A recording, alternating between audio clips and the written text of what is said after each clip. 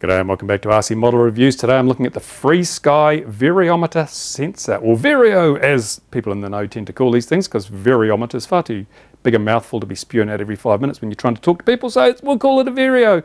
And this is a really cool little device. I really like this device. It works so damn well, and it, it has a lot of features that you wouldn't get in other Varios, because for a start, it's got the smart bus connectors on this side here. You see we've got two smart bus connectors, so we can actually daisy chain it means we can have a lead coming in that goes out to our receiver and then another lead that goes off to another sensor. So that's why you got two of them. So you can have just have one in and one out. That's brilliant. That works really well.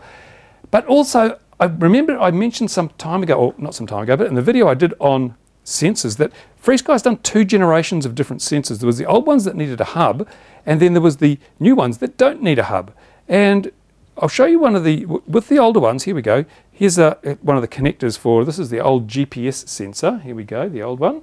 And you can see it says up and I've got Velcro on the back. But this is the old sensor and it has a different connector because what you can do with this, it's brilliant. You can actually use this as a mini, mini hub. So you can plug in the old sensors into the end here. So if it's all focused, you can plug your old sensors into there and that will give you the ability to provide a kind of a bridge between the old and the new. So if you buy this new variometer, you can use your old, some of your old version one telemetry sensors. It's, I mean, that's, I mean, oh, the FrSky could have just said, oh, damn you, you know, go and buy new ones. But they didn't. They said, here you go. You can use your old ones by plugging them into the side of this. Oh, that is really customer-focused thinking from FrSky. That's why they've become so successful, I think. They do look at what customers want and they produce products that fit that need. That's really, really important. So there you go.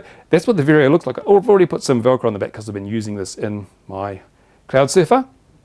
But what I'm going to do now is I'm going to show you how I set up the transmitter, my Taranis transmitter to work with this Vario because it'll show you how simple this whole damn FrSky telemetry thing is. Let's switch over to the transmitter and I'll show you what I've done. So here's my Taranis. It is one of the very first that ever came off the production line. They sent it to me for review. It's actually the first one I ever, I bought another one subsequent, but this was the first one and it's just been working. I mean, I haven't even updated the software because why do I need to? It does everything I want to do. There's, there's nothing in there that needs updating as far as I'm concerned. And so I'll turn it on. Ta-da. Here we go. So you can see how old it is.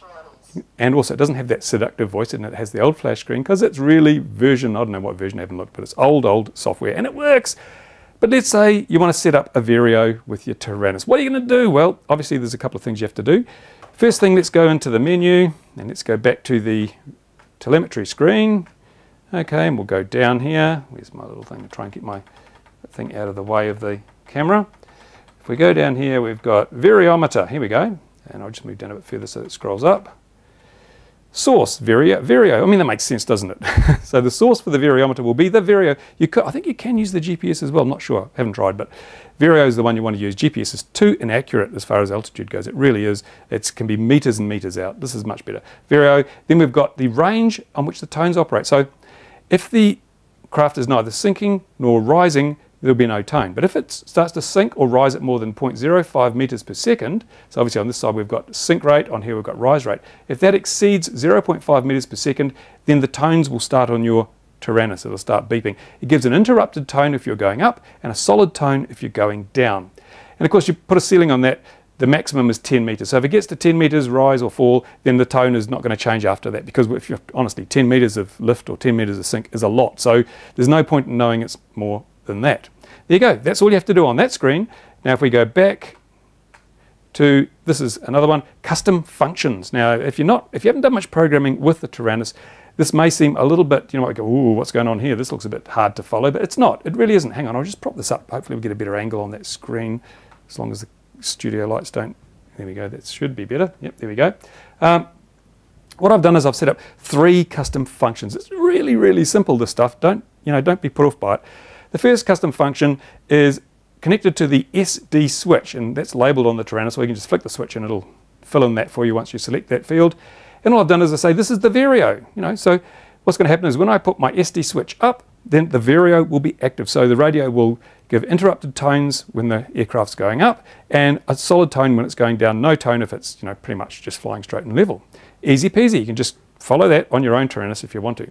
The next custom function is the is set up so that it will just enunciate the altitude every, in this case, 10 seconds. You can change that, it can be 5 seconds, 10 seconds, 20 seconds. So when I throw my SD switch to the down position, it's a three position switch, so if I throw it from the top position to the, to the lowest position, then The little lady inside my Taranis will regularly remind me of my altitude. She'll tell me what my altitude is so I don't have to keep looking at the screen. It'll just be a friendly reminder.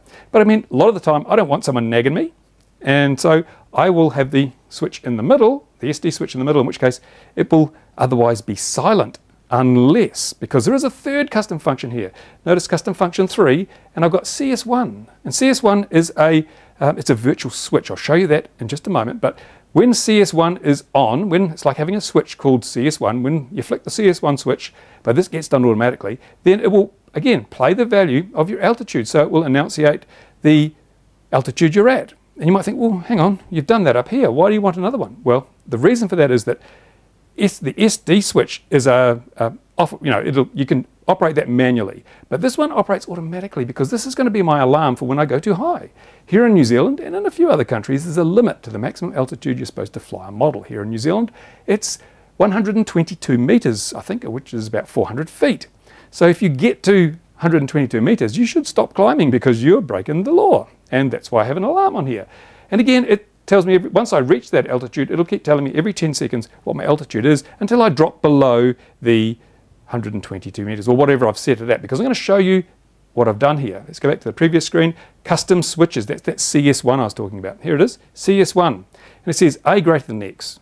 Well, here we get into some algebra here, getting maths, and don't glaze over, don't glaze over. Stay with me if you can we've got two variables here, a and x. And in the next two columns, we define what those variables are. So in this case, a is the altitude, and x is a number I've put in there, which is 118 meters. So what's going to happen here is this custom switch, which is actually just a, an imaginary switch, it will switch on whenever a is greater than x, or whenever the altitude is greater than 118 meters. So if I'm climbing up and my aircraft reaches 118 meters, suddenly on that other page, it'll turn on the line here, the custom function 3, because CS1 will have happened, and it will then tell me my altitude. So if I climb up to 118 meters, then the lady inside my Taranis will say, altitude 118 meters, or maybe 119 meters, depends how fast I climb, because remember, this data is sent back every now and then. It's not continuous, it's that there's a, a, certain amount of delay depending on the you know timing sequence and so forth. So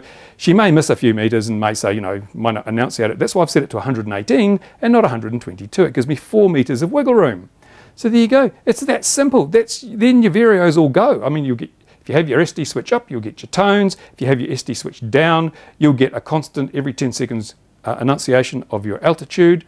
And if you have your SD switch in the middle, then it'll be completely silent until you hit that altitude limit. So even if you don't need a Vario for thermal soaring or something like that, it can be really handy to have so that you know when you're getting close to your maximum altitude in just normal flying. And that way you're never going to break the law, break the rules, which is great. Um, so that's it. What I'm going to do in the next video is I'm going to put this in my um, Cloud Surfer, put this back in because I took it out to show you. Put it back in the Cloud Surfer. We're going to go outside, we're going to fly it, and you'll be able to hear the tones and see how this stuff actually works in real life as we play with the Switch.